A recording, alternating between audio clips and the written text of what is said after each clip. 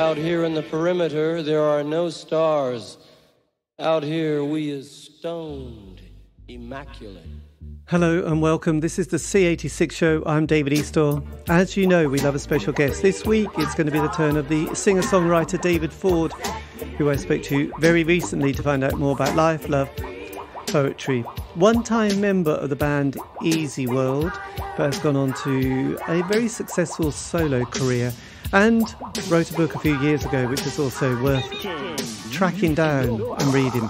Anyway, this is the interview. Just a little bit of a heads up. I realised there was a little bit of a technical glitch, he says, Sheraton. Actually, my microphone is a bit quiet, so you can't hardly hear me, which might be a good thing, but uh, thankfully you can hear David, so that's the main thing. So, look, after several minutes of casual chat, we got down to the exciting subject that was the early formative years. David, it's over to you. I did. Uh, well, I, I, guess I had two really. Um, and the, the the first the first one is is I suppose fairly pertinent for today because apparently 30 years ago today, uh, "Automatic for the People" by REM came out, and I was I was a teenager at the time. I was I was just sort of towards the end of of being at school, so I was like 14 or something. Uh, oh no, what would yeah yeah I would be 14 or 44 now. Um, and uh, I just absolutely loved that that that record. I suppose I grew up in Eastbourne, so we never, from that day to this, at no point have we ever had any sort of live music scene. There's never been any sort of like a, uh, you know, countercultural anything in in in my town. So so I sort of wasn't exposed to, uh, you know, I, I, sort of I sort of didn't know what was going on out out in the in the wide world. So um, I mean, I think I said in, in my book that when when Kurt Cobain died, like I was I was exactly that that generation that should have been all over that. I'd never heard of him. I, I heard about it on the news. I was like, I don't know who that guy was, but you know, I was like 15 at the time, so I really should have been, you know, that, that should have been a really big moment in my life. Anyway, I digress. Um, yeah, Automatic of the People was I just I just really loved it. It was the first time that that songs really uh, connected with me, and I and I was I just found it really fascinating and sort of the, those sort of quite opaque lyrics and the and the quite sort of I suppose sad minor key acoustic guitar moments, but with this sort of like indie sensibility. I just found it really interesting. It was it was it was very educational to to, to the young me and got me really into the idea of, of songs and and that songs weren't just there for for sort of shallow entertainment that that they could also be sort of um, deep and work on other levels as well.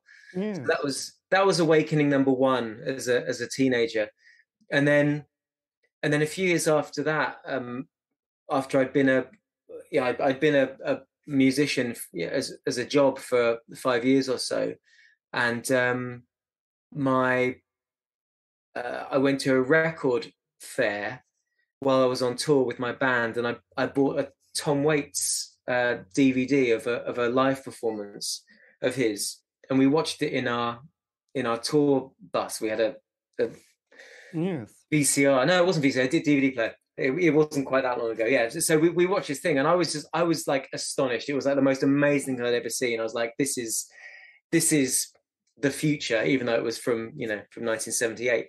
Um, and and the, my bandmates were just like, "What the fuck is this? It is awful." And and I think I, I, in my mind I quit the band that day. There was that I'm out, we're done. I am I'm I'm bound for for other other places. Yeah. And so yeah, so so yeah, so REM sort of introduced me to the idea of, of sort of songs being able to do things other than just you know get stuck in your head and, and hum along to and then and then i suppose tom waits sort of just showed me that there's more you can do with songs and, and performance and, and I suppose character, I suppose, because a lot, a lot of his stuff was uh, is very is very theatrical. I don't mean sort of you know jazz hands theatrical. It's it, it involves a lot of um, you know characterization, I suppose, which uh, again when when I was younger, I, I, I thought my future was going to be as an actor. I, I I went to university to try and you know go down that road. Right. Didn't, didn't, didn't work out so well. I, I, I dropped out and, and join a band instead. But yeah, for for a while there, I thought I wanted to that, that acting was was going to be my thing, and I suppose discovering Tom Waits sort of connected the dots and sort of it all came full circle. I was like, actually, you know, singing songs is kind of an acting gig. Like you adopt a persona, you take on a character, and you try and communicate, you know, the, the emotions to the audience, and it all sort of, you know, made sense to me. And that, and I, I sort of feel that's how I've been doing it ever since. Yes, well, I, uh, yes, Tom Waits had a great impact on us during the '80s, I suppose. There was a track in the neighborhood and downtown train which just had that evocativeness and with um, Automatic for the People, did that have night swimming and everyone hurts on it? I can't That's remember. right, yeah. Right, yes, that was their kind of massive breakthrough. I mean, they yeah. been really good in the 80s, but then hmm. suddenly mm. They it all came together, which was amazing because most bands that I interviewed, as you can imagine, you know, have the three albums, well, if they're lucky. Um, but REM had this incredible lifespan, you know, and, yeah. and, and it just kept sort of progressing. I suppose to some extent, so did you too. Yeah, interesting. Did you come from a kind of a musical family at all? Because obviously, no, no, not, not at all. I, I, I uh, my my my grandmother on her deathbed told me that her mother was an opera singer, but she was saying some very strange things at the time. So, so possibly possibly my great grandmother sang opera, but I I've, I've no idea whether that's true or not. But as, as, far as I'm aware, I'm the only musically inclined person in my family. So you didn't, your parents weren't, you know, hip to the trip. You know, they hadn't seen the Beatles or the Rolling Stones in the in '63 or anything like that. Uh, no, they they you know they, they liked music, but I wouldn't say you know they they were occasional gig goers. I mean, my my my dad sort of liked.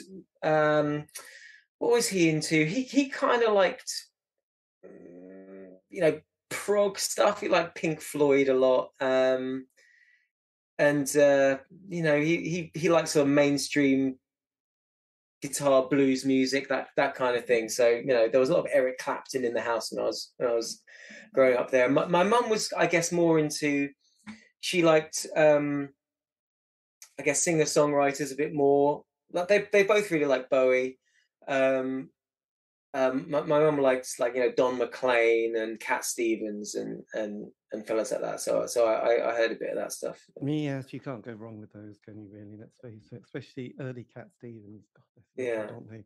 Yes. So when you went to Manchester to do drama studies, yeah, was Manchester there because of the whole Manchester thing that you'd been reading about in Eastbourne, thinking I must go there because it's going to be brilliant. Well, kind of. So it was. So that would have been '96, which was, I suppose, the height of. You know, it was Britpop rather than Manchester. I guess it was. It, so, so it was more.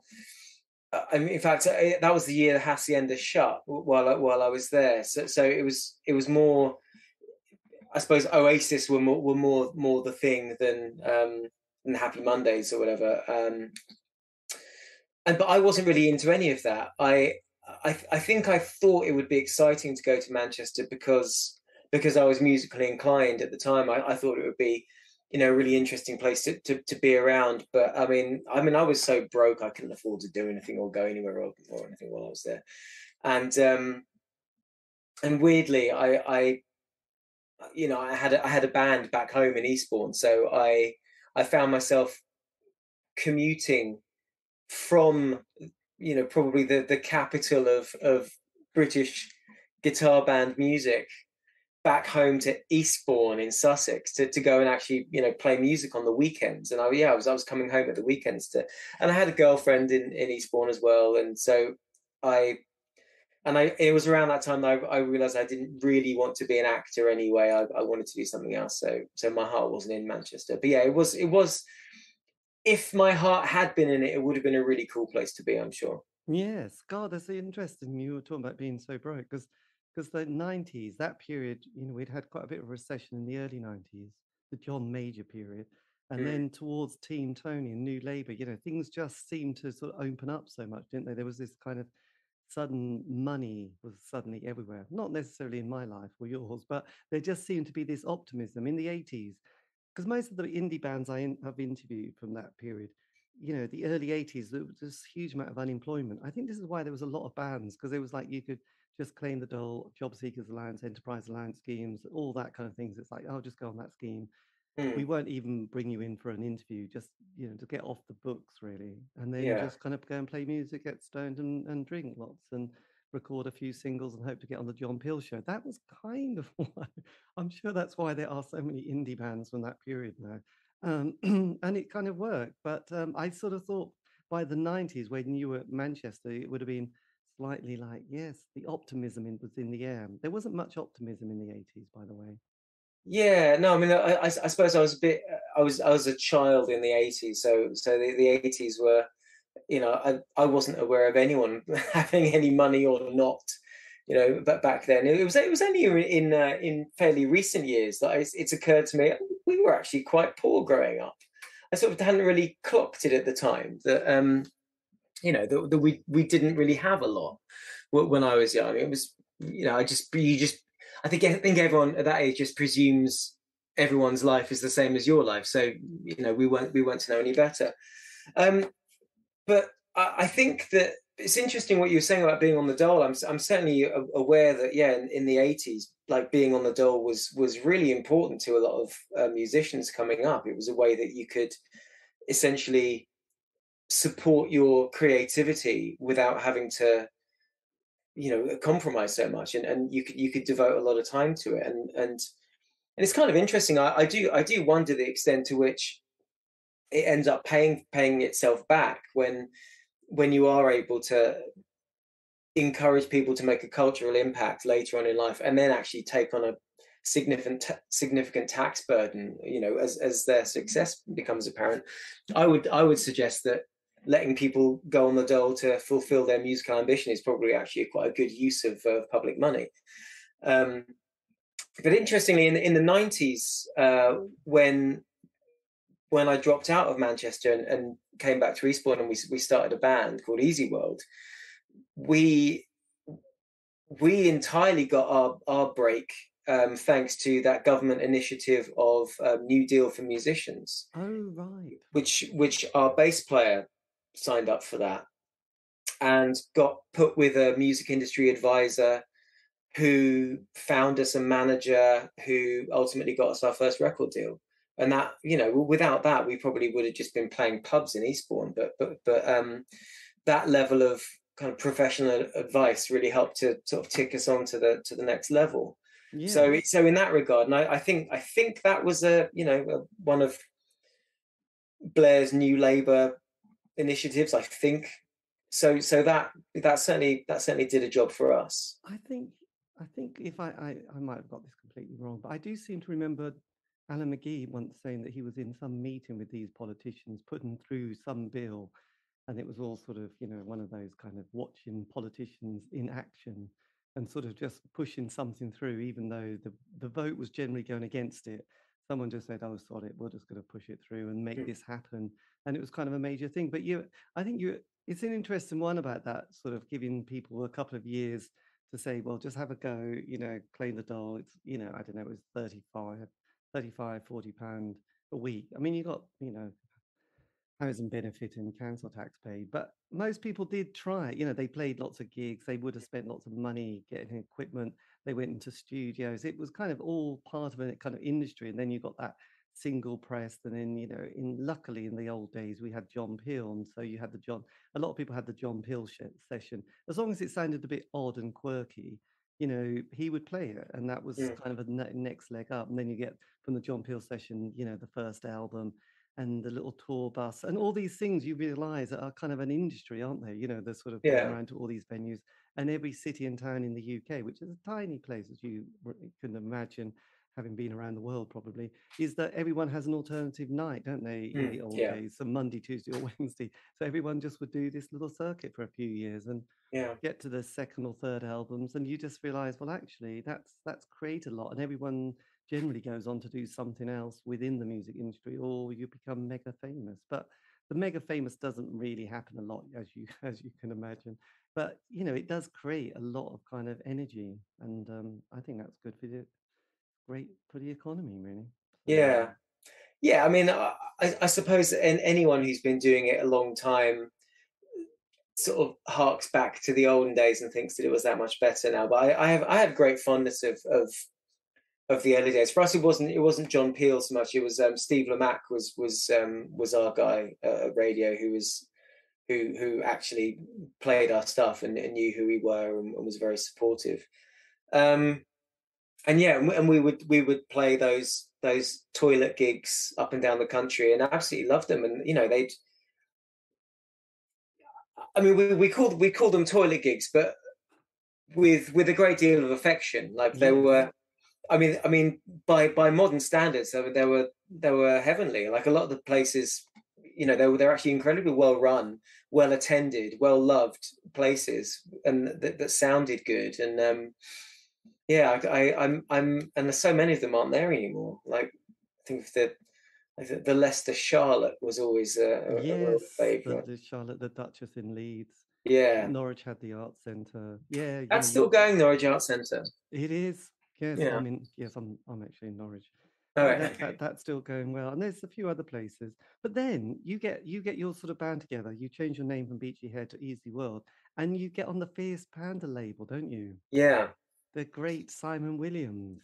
Yeah, yeah. It was it was it was it was great. I mean, uh, and and happened so seemingly very quickly and easily. Uh, but but I suppose that is that was the model of, of Fierce Panda. They could move incredibly quickly. So a lot of the stuff that they put out was was bands who who were about to or had already signed with major labels.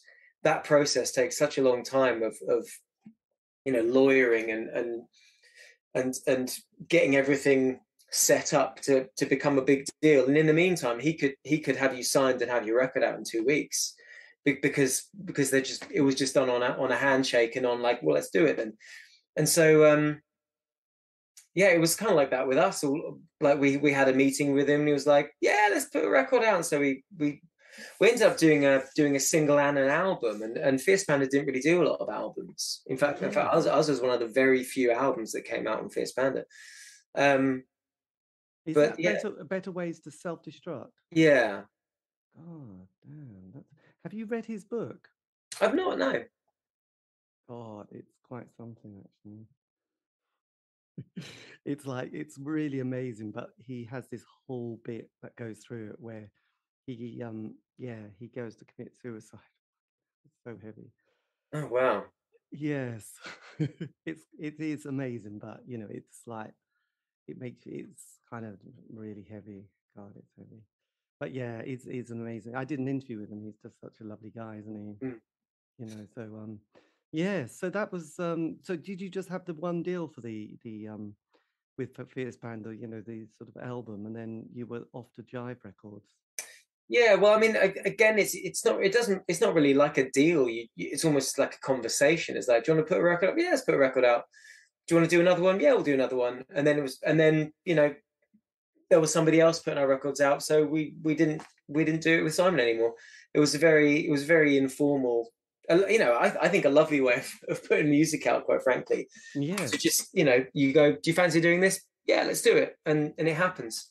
What was your yes? Because in the book, your book that you wrote on Jive, it sounds like suddenly it's quite a different gig, isn't it? When you when you enter this world of a major re- record label and Jive Records, because I can remember they were quite dance orientated, weren't they? they, were- they were very pop in the UK. Uh, well, actually, um, everywhere. So our, our label mates were Britney Spears, Justin Timberlake, NSYNC, Backstreet Boys, uh, Steps, and Easyworld. It was it was pretty much that was the was the stable. Oh, and R. Kelly, remember him? Um, yes.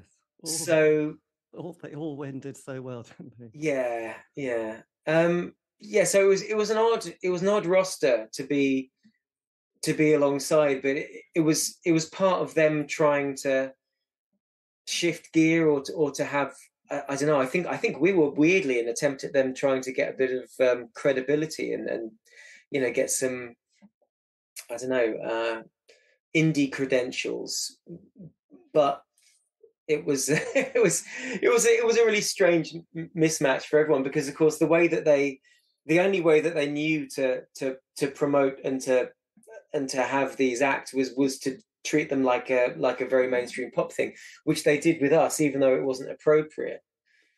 Um Yes. so it was it was never it was never likely to end that well. Plus there was the fact that very shortly after we we started with jive the process started of them being swallowed up by the bmg sony empire.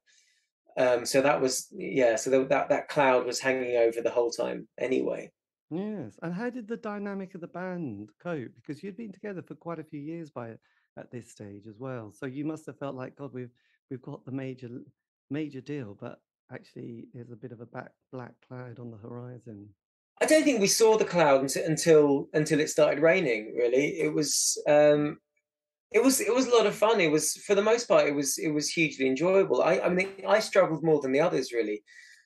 I think because of because I was the the the songwriter. I think I, I was aware of the of the pressure to to to come up with hits, and their idea of hits and my idea were not necessarily the same thing. Um, because on the first album you have the great, is it Hugh Jones? Yeah, and he's got the most amazing CV, hasn't he? He's just like yeah, he's just gold. And your experience with that was brilliant, wasn't it? I yeah, I, I loved Hugh. I, I I think he was such a such an example. And I, I think I think a great example is as I, I was I was very fairly reluctant to work with him on that record. There were other people that I preferred, but but the um, but our A&R manager was was very keen to work with Hugh, largely because of his CV. Yes. And and yeah, in the end, I I, I just loved his work ethic, and it's it, his work ethic is essentially like there are 24 hours in the day, so that's so that's they're the ones we're going to work. And um, yeah, he would. It was back in the days where where you could chain smoke in a recording studio, so that's what he did. It was like smoking, smoking, smoking, working, working, working, never sleeping, and um, yeah, and and and really a really great temperament, very very uh, even tempered. He never he never seemed to get cross, even though he didn't sleep ever. I um, because I, I have spoke to a few people who've mentioned you know working with him, and and and your description in the book was exactly the same. That you just thought, how is he not going to, you know, how is he still alive with this diet of yeah. not great food just smoking and just working all the time yeah. but producing just amazing albums. I mean he was just an amazing character. He's still alive isn't he i believe? I've i have not heard anything of hugh jones for i mean so many years maybe 20 years. Um and it's it, which is which is strange because I, I i'm i'm so fond of him and i and i think of him often. I i should probably reach out and see see how he's doing. Yeah um but yeah, he he definitely yeah he was he was a great person to to to start making proper records with in in a proper setting. I think I think way more than someone who who was like one of those you know a flaky vibe man who you know who, who maybe didn't have the same kind of work ethic. I I I've, I've always considered myself to be quite the the blue collar rock star, if you will. So I think I think just someone who's willing to put in the hours, I think was really was really quite inspirational to. So when when you heard the album, this this is where I stand. Were you pleased with the results of it? Did you think this is good? I'm enjoy. I've enjoyed what what this sounds like. Unlike um, was it Ian Curtis from Joy Division who hated. You know when he heard Martin Hannett's kind of um, first album that he did, you know they, he did for the band, right? Um, at the time, at the time, I loved it. I, I, I was, I remember being like very emotional when when we had the um the first playback um, at mastering. So you know that so that's the first time you listen to the record from start to finish, like finished as it is. Like so, it's been mixed, it's been mastered. This is the record. And they put it on the big speakers, they play it loud, and you sit there and you listen to the whole thing all the way through. And I, I'm and for me that that felt like a massive achievement because I it seemed it seemed like I like I'd been wanting to make a proper record for my whole life. And then this was the first time where it's a proper record we made with a proper producer in a real studio on a proper label. And it sounded it sounded big and like, you know, like a like the rock record I've always wanted. Listening to it now, I really don't like it at all. But I think that's largely to do with, you know, I would I would say maturity, but but you but you know you you might say it's just like a change of in, in taste really yeah. And the way the way that I the way that I write and record and play now is very different to how it was then. But you know, there, there were there are some things about there are some things about the very early records that we made that I that I still kind of I sort of quite admire the ambition of those young people who yes. put put some put some sort of some strange things on on onto tape that I that I maybe wouldn't wouldn't even think of now. I I, I much prefer the second Easyworld album to the first. I, I feel like it's more uh it's kind of more interesting. I think, but uh, this is the Kill the Last Romantic. Yeah, because your experience from right your book, you were saying you didn't enjoy the the whole you know going into the studio the producer wasn't quite so nice you know such a great vibe the, it was the hours weren't so cool yeah it was it was hard i i i struggled a bit more with um with with the producer david Costin, who who i who i absolutely love i adore him i think he's he's wonderful and and i think that and i think the job he was doing on the record was very very good but i think i think i'm a very difficult person to to to work with uh, for producers. I think I'm quite uh, opinionated, but at the same time, I'm aware of the that I don't want to I don't want to tread on the toes of, of the producer. I, I tend to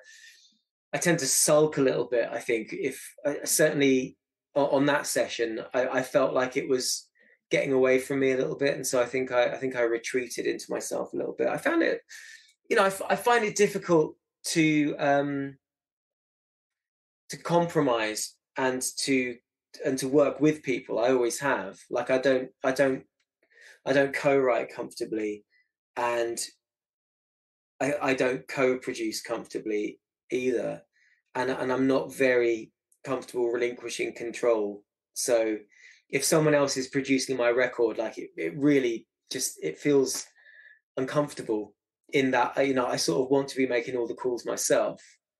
Yeah. And the idea that ultimately somebody else gets to make those calls feels a bit wrong to me. And I think, uh, and I think because we, because David Costa and I had had some sort of different ideas about some things, I think I found it difficult in that respect. With hindsight, I think he was probably right about all of them. But you know, I was I was young and and and yeah opinionated and idealistic and and, and headstrong and, and stubborn yes god there you go it happens doesn't it?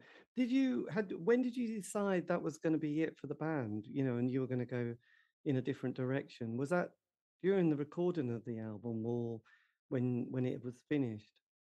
It was it was afterwards. I mean it was it was while we were on the tour like i say it was it was i, I got the tom waits dvd and i was like ah, we're done here. This is this is uh this is not this is not gonna gonna be for me. And so I think I think the the last we had a we had a maybe a tour over the summer and then a few festival performances booked, which were the last things to do. And, and we'd we'd promised to put out another single off that. Uh, well, not off the record. We you know I had to write another song to put out as a single, and and and by that point we knew the label was going to get swallowed up and ultimately closed down we knew the band wasn't going to get picked up for a third album. All of that stuff was obvious. It seemed it seemed like like the very natural place to draw a line. Yes, because we because we were definitely about to to be unsigned again, and uh, and obviously that then then you get into the you know the the struggle of I guess trying to find a new label or or doing the whole independent thing, and I I, I didn't really have the um I didn't have the fight in me to do that with the band again. Whereas I did, I did have the, uh, I definitely did have the energy to to do something very different. Yes. Did the did the other two members did they also feel like they were it was time to kind of move on and do other things? No, distinctly less so. I think I think they would have they they would have stuck they would have stuck with it. I think. um yeah so so it was it was definitely my you know, I I I wanted to go, and they didn't. You know, they didn't want to want to the band to split up. Oh, that's so awkward, isn't it? Mostly people all had enough. You know, there's a sort of just that kind of I don't know five years together, and also a bit of a lack of money, and everyone's just thinking, God, I'm just exhausted. I just need to do something else. This isn't quite working as we wanted it to. So mostly it's kind of a nice feeling that everyone's gone going in the same direction, but obviously there are occasions when it doesn't always um, line up, does it? Yeah, I mean, it would it would have been nice had we all kind of gone. That was that was a great ride, you know. No hard feelings. Let's let's do some other stuff, which was kind of how I felt felt about it. I, I think, but um, you know, it, it, it was it was definitely the right thing to do. Whether I mean, I know I know the others didn't think that at the time. I, I don't know whether they would think that now, but it, it, definitely it definitely had reached a point where it was it was the right time to, to do something else. Yes. So at this stage, when you decided to go solo, were you had you sort of felt confident that this was a good, you know, this was going to be your next direction to go in? Yeah, I, I, I did, and not not sort of commercially or anything. It, it, wasn't about oh, I think I can I can, you know, get a deal doing this or or have a career doing this. It was more just I, I was I was writing loads and loads of songs, and I was really excited at writing songs again. I, I it felt like a really there was like a new energy. Like it, it had been a slog the last the last year of of, of being in Easyworld. It felt like a bit of a slog, and there was a lot of pressure to to come up with the hit, whatever that meant, and then to to remove that pressure entirely and just kind of go, I'm gonna, I just want to write songs that are what I want to do, and and they, and they didn't have to fit the format of a of a three piece guitar band as well. Was was great. You know, I could arrange them any way I wanted to. Um, yes. So you got you got on a, a, on onto a label, and did you and you recorded all this? Was this in your own studio? You recorded? Was it? I sincerely apologize. Uh, well, I mean, you can call it studio, or you can call it like my bedroom. You know, it was yeah, it was it was there was no there was no studio involved. It was it was um, I was very fortunate to essentially be uh, house sitting for for a friend of mine. His his his parents moved to Kenya for work and, and they just let me look after their house and so I, I set up a studio there and and made made the made my album there yes. Uh, it was it was it was yeah joyous. I was going to say it, it it came together so well and and you know um, State of the Union it's just been you know it's such a great song so did that give you a lot of confidence that you'd made the right decision and this was going to be your next path oh yeah I didn't I didn't even think about it after that. It was it, it, was, it felt so natural and and like writing came so easily. Recording was really enjoyable because I was learning more about how to how to record myself and to and to and to make production choices and and and, and the technical side of it. I was just in it, the the journey was great. I felt I was really growing as a writer and as a as a as a producer and a musician. And yeah I, I just really it was yeah the happiest the happiest time of my whole life. Yeah. That's fantastic. And you also do a cover of the smith song don't you on the second album? Yes yeah. Which is one of our favorites so by then you'd become you know you were supporting you know lots of incredible people like you know suzanne vega and elvis costello who was i know you mentioned tom waits before. Was there anybody else that you were beginning to sort of become influenced by? I think around that time it was it was like the the really major kind of American old men, I suppose. Bob Dylan, Tom Waits, Neil Young, Bruce Springsteen, uh, Leonard Cohen, Canadian, obviously, like Neil Young, but um, you know, I, I, those guys, they're like the the heavyweight, old guard North American songwriters. I were were mostly my thing, and and I suppose the the the I was listening to some of the sort of younger pretenders to to to those crowns, like Bright Eyes and Ryan Adams. Uh, so I, I kind of I sort of saw myself in in that in that kind of uh, yes in that kind but of your, your spirit was in Laurel Canyon, wasn't it? Really? Yeah, I, I think so. yes. Yeah, well, it's tempting, isn't it? I mean, you know, I've I sort of, you know, people like Neil Young and Joni Mitchell. I know you didn't mention Joni Mitchell, but those lyrics are just always kind of quite something. So you must have been sort of getting your yeah your vocal your not vocal your your sort of lyrical content was starting to sort of come out because i just noticed on your last album it's very it's very melancholic isn't it it's got a, a very heavy vibe to it which reminded me. I don't know, you know, if you know, if I'm even close, but I do. In the old days, in I don't know, about 10, 20 years ago, I used to love watching these Woody Allen films, you know, like Annie Hall and Manhattan, when autumn and winter was coming, and there was this kind of really kind of vibe in uh, on the on the last album that you had that sort of evoked a lot of that kind of memory. Really, I didn't know if you were sort of channeling some of that kind of spirit of um, yes, your deeper, darker self. Uh, uh, uh when when you say the last album, do you mean do you mean Love and Death? Or, yes, that's the right. one. Which, of course, is the name of a Woody Allen movie. Um, God, that's so true. but even that said, I, I, I, I don't think I was I don't think I was channeling Woody Allen. If if anything, maybe maybe the um the last couple of Leonard Cohen records before he died, I, I really, really enjoyed. I, I, I thought his his record "You Want It Darker," which dealt essentially was a, as a record about the process of him dying. Yeah.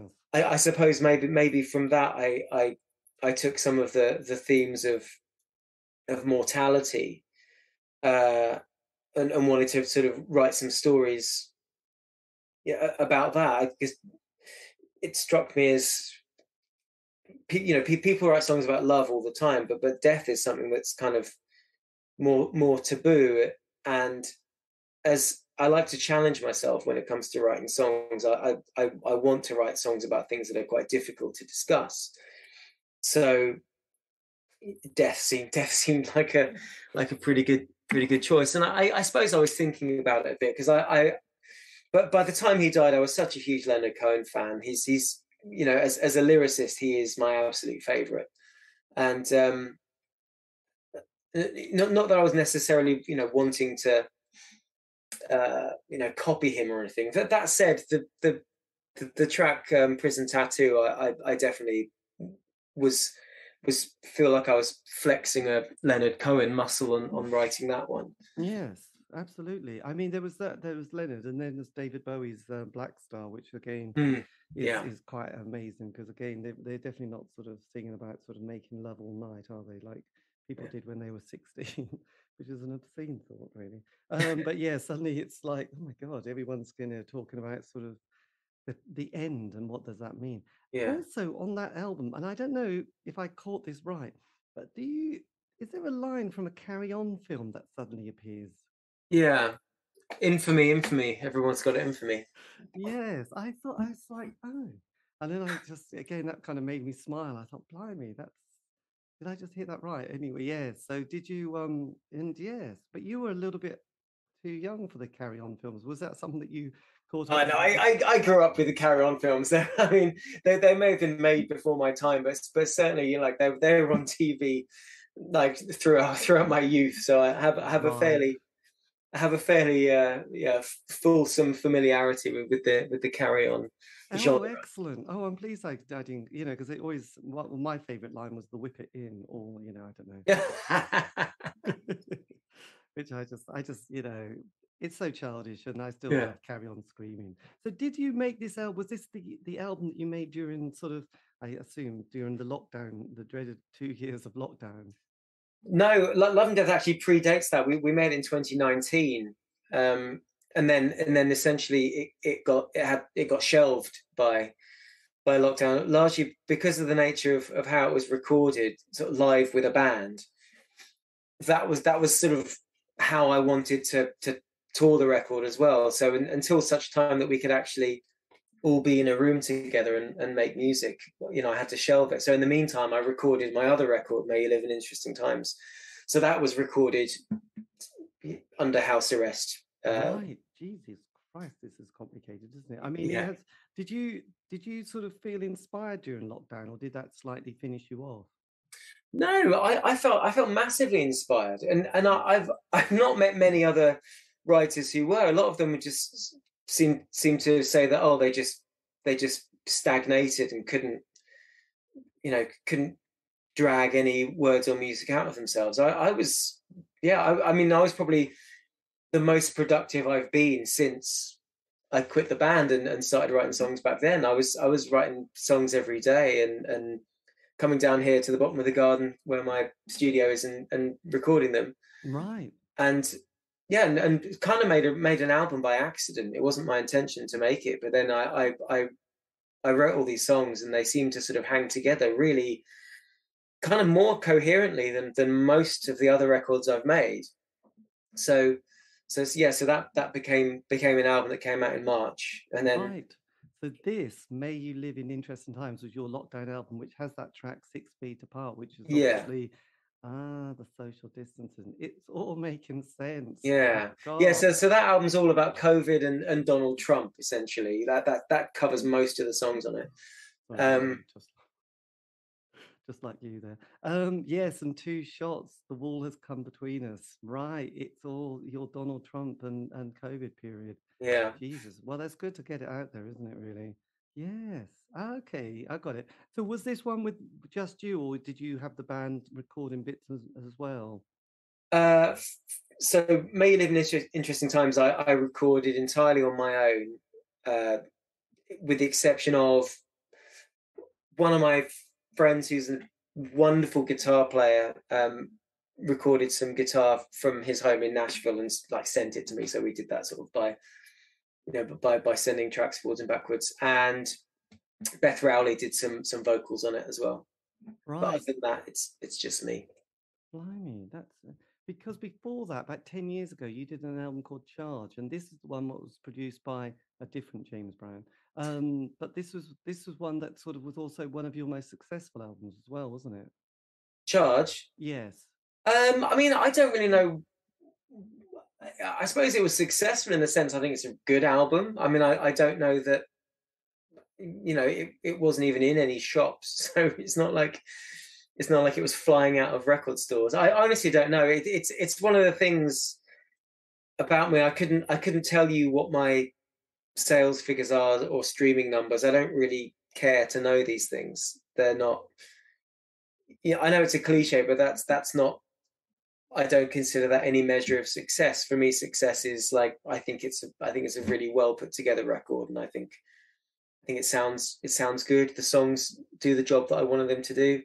That's that's success for me. Everything else is marketing, and I don't much care for marketing. No, Jesus Christ. I know. Did you ever see the Bill Hicks sketch about marketing? Is there any marketers here? Kill yourself. You have to see it to, you know. to yeah, it. I, I I will look that up as soon as our conversation finishes. just you know because it's like oh you know you guys can always find the buck you know oh you've got the anti you know the anti-capitalism we love that buck you know oh you've got this oh that's the great buck that is you know it's like oh fuck off kill yourselves now just get away from us you know it's just too much isn't it but then you did a sing- single that was kind of a massive hit for johnny wasn't it johnny hallyday, hallyday. yeah, how did that come about completely by accident. It's like everything happens by accident. Like I have no, I've never had a plan for anything. These things sort of kind of fall out of the sky. Um, essentially, it came it came about from from trying to get dropped from my publisher. So I, I had a publishing deal which had expired, and so but you don't just the way it works with with these things is you don't just the contract doesn't just end. You have to you have to let them know that you want to get out of it. right And so my manager sent a sent a the necessary letter to my publisher saying, which essentially says like if you want to if you want to pick me up for another album, you need to pay me in advance, knowing full well they weren't going to do it, or you know write back to confirm that our that our contract is terminated. You know, the, just doing the doing the due Right. diligence. And I think I think they, they emailed back saying, "Oh, sorry, we didn't know we even had your publishing catalog," which which is not surprising because they've done fuck all with it for the last like ten years. And they go, "Oh, well, well, yeah. Before we before we part ways, we'll just we'll just pitch it to something. Uh, Johnny Hallyday's looking for songs. We'll pitch him. We'll pitch him one of your songs." And they did, and and and Johnny, and more importantly, apparently his wife really liked it. And so they commissioned a French lyric he recorded it, put it on his record. It was a single and it was a hit, and the record was the album was was a number one, and and it was it was like yeah, a bit a bit of a a bit of a comeback for for Johnny Hallyday. But yeah, it just it just came out of that. It, it was it was like an absent-minded. Oh, I suppose we'll do a perfunctory job of pitching one of your songs to see if someone wants to record it. Like say, having had my catalog for a decade and not even knowing they had it So, um, so yeah, the, the the music industry, how does that kind of work? Can you explain? Because it's one of those great mysteries, isn't it? How does the you know ownership of music, publishing, how does this, how do these two things operate? well, essentially, you make your deal with the devil. You you sell ownership of your songs in exchange for, for a bunch of money. The money is more useful than the ownership of your songs for the most part because the songs only become valuable if if if they become valuable and Yeah. most songs don't become valuable so therefore in the early stages if someone says well, i'll give you 20000 pounds in exchange for every song you write for the next three years you think about it and you go that's probably a good deal so you take it Right. and then it's up to them to to decide what they want to do with your songs or not so so they paid me some money to own my songs and then it seems just like owned them but didn't do anything with them which is their right Yes. It you know obviously in all that time they could have been they could have been using the songs that, that i wrote that they owned to advertise toothpaste and mcdonald's burgers uh, or to you know to try and get people to put in their films or to try and get french rock stars to do cover versions of. They just didn't do it which is their right. Again it, you know, it would have been beneficial to me and to them had they actually done it but they didn't have to. You And know does that then mean that when, as in this case, they actually use it, does that mean you benefit at all, or do they say, "God, that was that was quite lucky," you know, because we paid you that money and that was the Mm. deal, or do you then say, "Oh," or is there a part of the contract that means that you would then get a commission from, you know, the success of Johnny's kind of cover of your track? Yeah, so so the way the money works is they set it against your balance. So any money that comes in, they they recoup the money, whatever advance they've given you first before you see a penny. Right. And thereafter, once once you've paid off whatever debt they perceive you have to them, then then you work on a whatever the contract says your split is. Wow. So usually you also the, the other thing of course is is they they have very clever ways of doing their accountancy so that you never actually officially have paid back the money they've given you so it's so essentially they, they just they just keep all the money forever again i don't have a problem with that necessarily Mm. for the for the most part you, you presume that the advance they give you is the only money you're ever going to see and and that's how i always have have dealt with it Yes, I would imagine. I think quite a few people I spoke to just say, you know, like don't just get the best deal, give them the album, just say that's fine. I'm not even thinking about, you know, what anything else, you know, yeah and, and just keep it tidy like that. Does that mean then since then, since that time, you own all the music that you make? Have have you sort of kept that kind of ownership and publishing?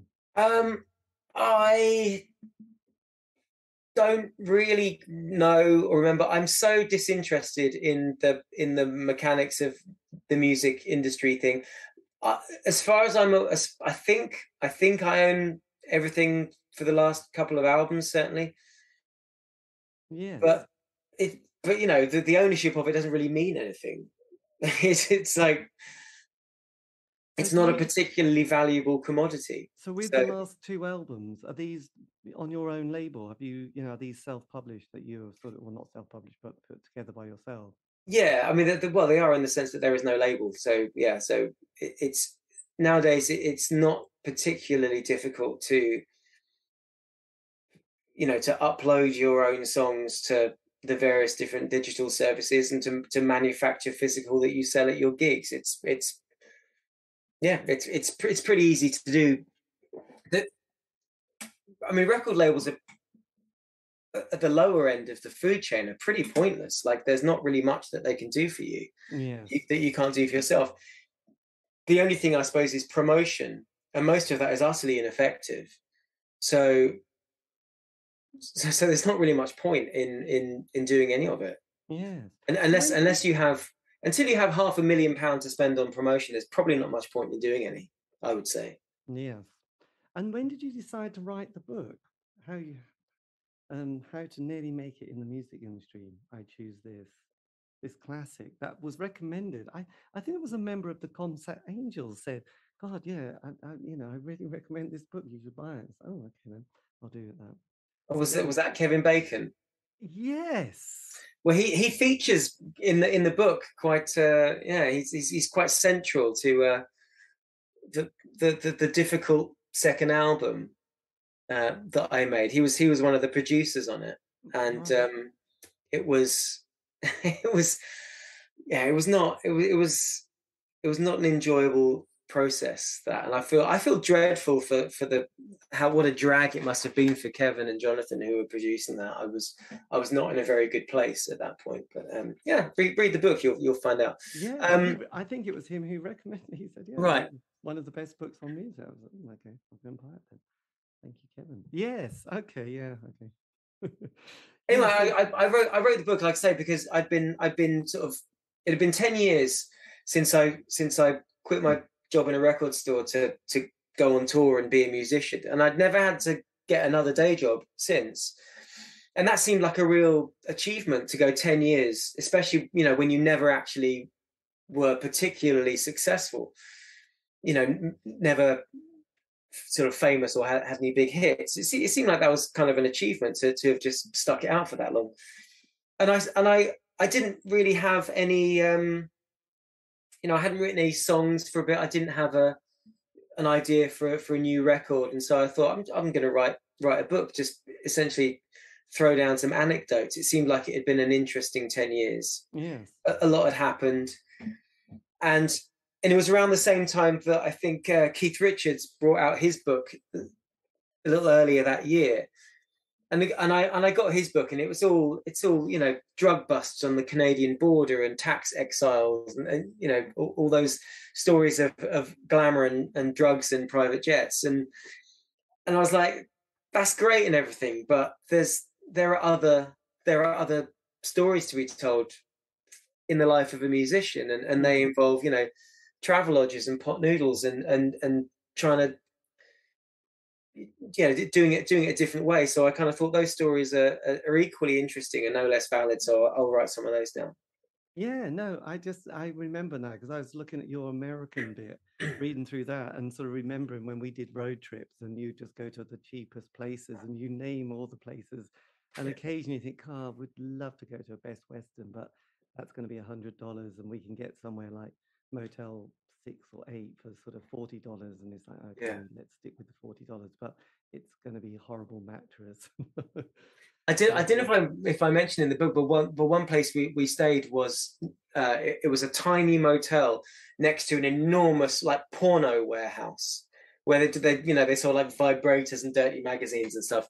And there was this and there was this. It was one of those like motels where you can get a room by the hour if you want to, mm-hmm. and it was I think it was twenty four dollars for a for a hotel room for the night, and and and when you when you shut the door, there was like still an inch of daylight that you could see along the side of the door. And it's one of the ones where you park right outside your your motel, so it's just like open to the elements.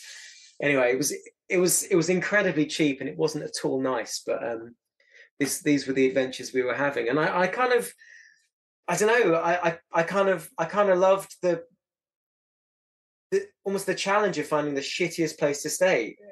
It was it was yeah, it was a good time. I was I was young and that didn't really bother me that much. And, that, and then nowadays, I had a really I just just snapped one day and I stayed in this hotel and the carpet was wet. And it's like, how is the carpet wet in a hotel room?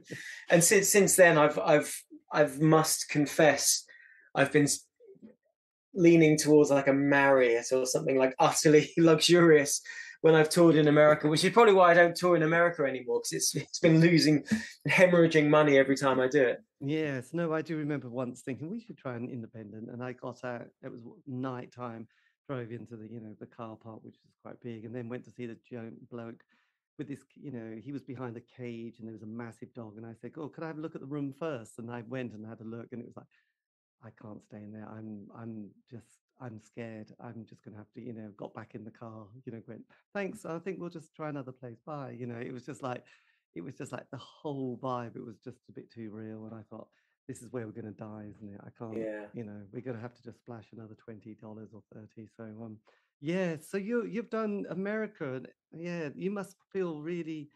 It would be nice to go and do it again and and sort of reconnect with your fans. Yeah, it's, it's been a, it's been a long time. I mean, even even without COVID, it, it's it's so hard to go and tour in America. Like getting a visa to to go and play shows over there is really really kind of prohibitively expensive and a lot of hassle. Like it's um yeah, unless I suppose unless you have the infrastructure of of um like a record label or agency booking you to come over, it's it's just really hard to get to do it in a legal fashion.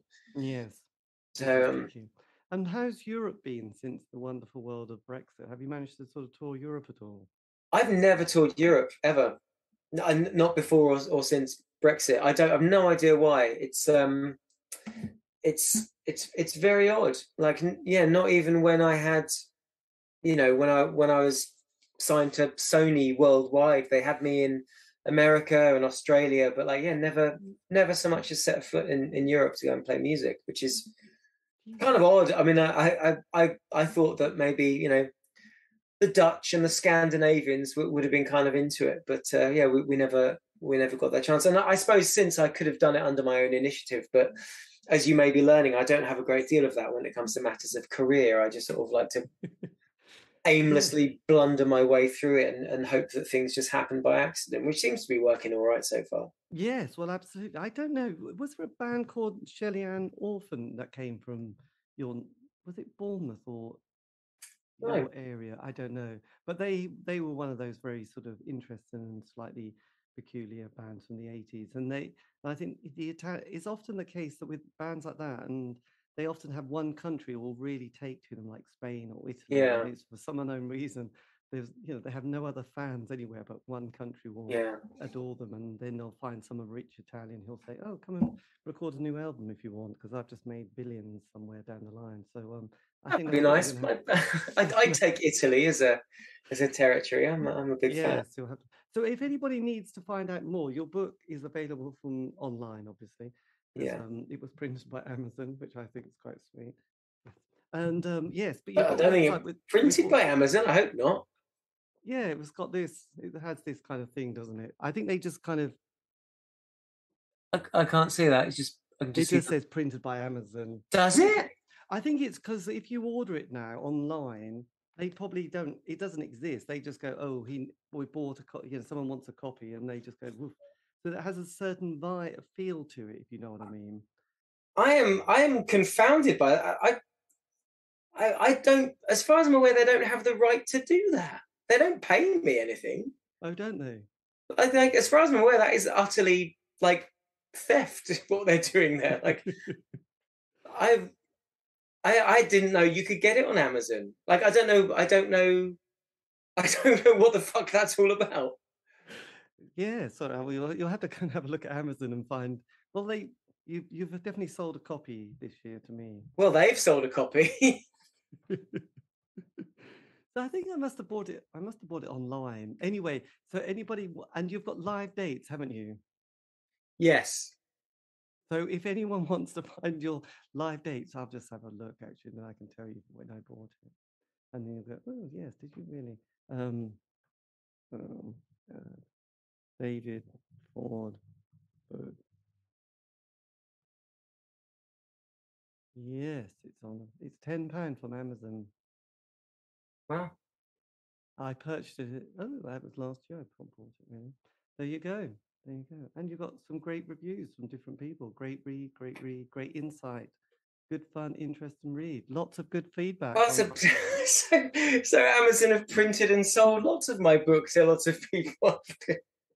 I, see, I, I'm this. This is an insight into into my into my business acumen. I don't know. I've no idea how the fuck they've got my book. I didn't give it to them. I didn't say they could sell it. I don't know what's going on. Yes, you'll have to have a, you'll have to look later. Um, so yes, and but live dates as well. Is it all available on your website with the with the album? Is it available just as a download? Um, by the way, the new album. The album is also on CD and vinyl. And I have to say, it is brilliant. I do really, really recommend it. I've really enjoyed it, even though it was a bit sort of heavy in places. Yeah, it's it's you know it's it's in the title, isn't it? Exactly. Yeah. not not for the faint of heart. You know, it's it's. I suppose I was going to say it has got some it has got some upbeat moments, but even the upbeat moments are probably kind of angry. So um, yeah. There you go. There you... Oh, and just last thing, if you could have whispered something to your 16 year old self starting is there anything that you would think, yes, I must do that, or I would have told myself that? I probably would say just don't take the whole damn thing so seriously and say yes more. L- largely, largely say yes more just to be more positive, but also, I, I think one thing I didn't, one thing I didn't sort of realize at the time was that when people who are record labels say that they admire your artistic integrity, that's not true. They they want you to they want you to suck up to them and, and say say that all their ideas are brilliant. And they, they don't want you to be uh, a you know headstrong and single-minded and focused artist. They want you to do as you're told. Even even though when they say we see you as the next bob dylan what they mean is we want you to do what we want you to do and and to an extent i should have been i sh- what i would say to my younger self is like let them think that say yes and then still do your own thing anyway. But let them think it was their idea all along. Uh, right. Yes. Because because I was I was always quite I was often quite hostile to to record label interventions because I, I saw it as I, I, sort of saw them as sort of the enemy, which I shouldn't have done because obviously, you know, they they wanted to work with me and they wanted to put my records out. But like I I was always very suspicious of them wanting to kind of mess with my vision, if you will. And I, I should have been, I should have been a bit more cool and friendly with with them at the time, and I think I would have made more friends that way. I think people people found me quite difficult to work with because I wanted because because I, I, I thought it was important to to do things the way I wanted them done. Yeah. Which I don't think was wrong, but at the same time, I, I should have had the necessary gift of diplomacy, I suppose, to be able to make them think that that I was listening and and and agreeing with them instead of telling them to go fuck themselves. and did you have you ever been in touch with the other members of the band at all, just to sort of occasionally? A, a little. Um, Taylor, the the bass player, uh, she came and played at a, a, charity gig that I did. I mean, we're, we're going back a, a lot of years now. Um, so that that was the last time that we that we played music together. I don't think I've seen her since either. Um, and I bump into the drummer occasionally, but yeah. but you know we're not. To be honest, we we weren't particularly close before or during being in the band, and, and we're not now either. No, no, no. You you talk about the drummer and the bass and, and the amount of space they need. Yeah. That's classic that bit about having to find the cymbal as well honestly, they're, they're right over there. I still use them all the time. I mean, I'm on like sort of what eight albums I've made with those same cymbals. They're fine. they're absolutely fine. it's a great book. It is such a good read. So um, yes, yeah. Sorry, I spoiled your day about talking about Amazon anyway, look, David, thank you ever so much. If you want, I can always give you the list uh, link to this, and you can always use it elsewhere. Great, yeah. Lovely. But look, thanks again for your time and um, loving the album. So um, all the best. Thank you, David. Thanks a lot. And uh, I'm so sorry I was so late. No, that's fine. It's all, all good. Mm. Bye. Okay. Bye bye. Okay, that was me in conversation with David Ford talking about his life in music. If you want to know any more information, he has got a very good Facebook page, which is, no, he hasn't, a website, there you have it. DavidFordMusic.com. So just go and check it out. It's all there. He says checking it. It is. Yes, it's there. It's good. So uh, do find him and uh, go and see him live and buy his records. Anyway, this has been the C86 show. Sorry a little bit about the technical issues, but um, yeah, that's live. You can, um, if you want, you can contact me on Facebook, Twitter, Instagram. Just do C86 show. All these have been archived. That's on Spotify, iTunes, Podbean. Have a great week. Stay safe.